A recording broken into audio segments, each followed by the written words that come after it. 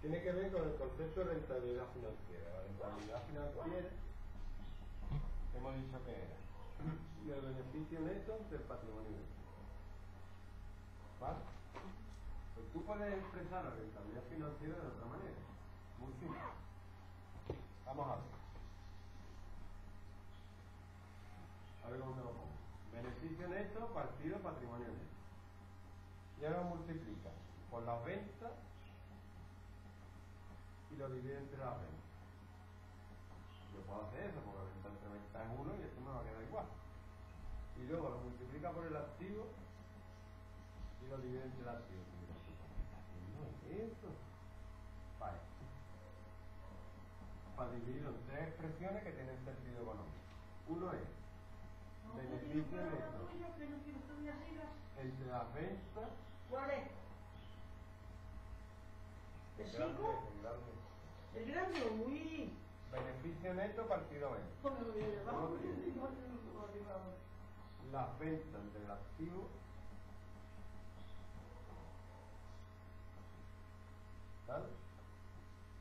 No puedes reordenar porque la, la- el producto es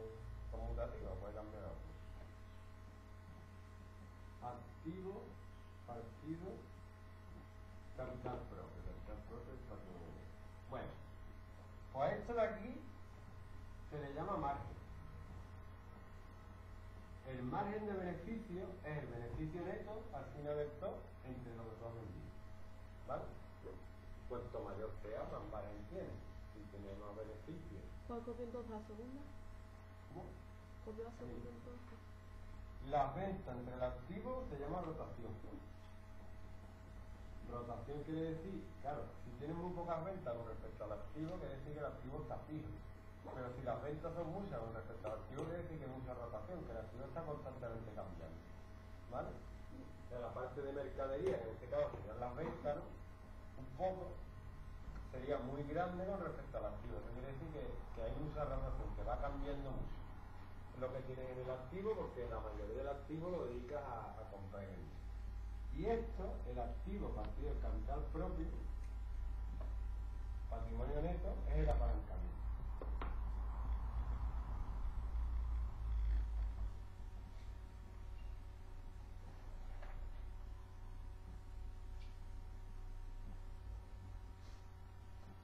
Activo partido patrimonio neto es eh, la relación que hay entre lo que tú inviertes, tú mismo, el patrimonio neto que tú pones para la empresa, y lo que la empresa tiene, que es el activo. Entonces, te pongo un ejemplo.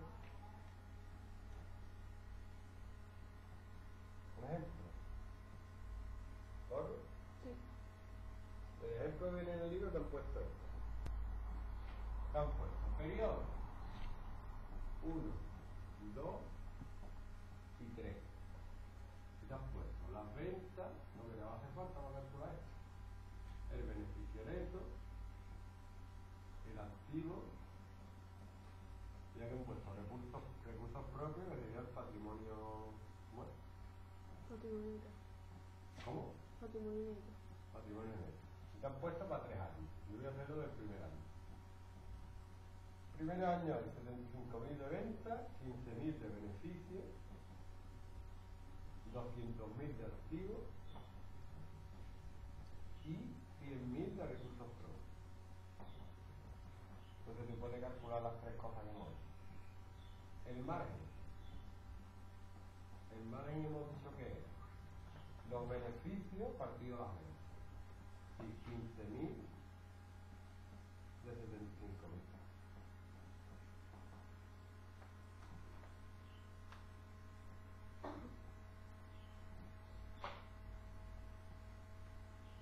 Y da 0,2. Eso quiere decir que por cada euro que tú has comprado, has ganado 0,2 euros. ¿Vale? El activo, digo, eh, la, la es lo que tú vendes. Entonces, de cada euro que tú vendes, ganas 0,2. Está bien, ¿no?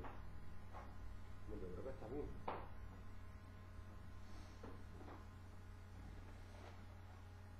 También depende de lo que vendas. la rotación. Mueve mucho el activo no se mueve mucho. Es las ventas partido del activo. 75.000 entre 200.000 tiene 200.000 de activos y las ventas suponen 75.000 euros. Eso quiere decir que, que casi la mitad, pues, casi la mitad, ¿no? Un 0,375, que es un 37,5%,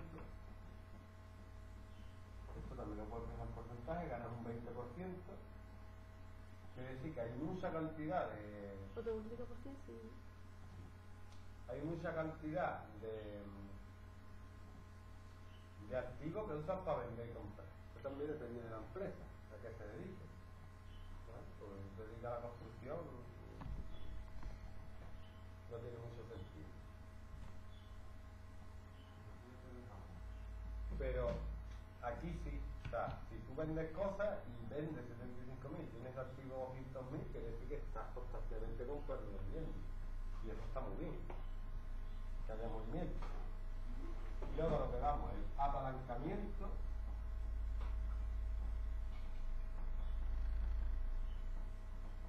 que es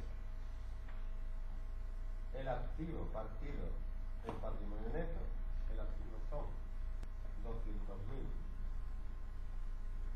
y el patrimonio neto son 100.000 de dado.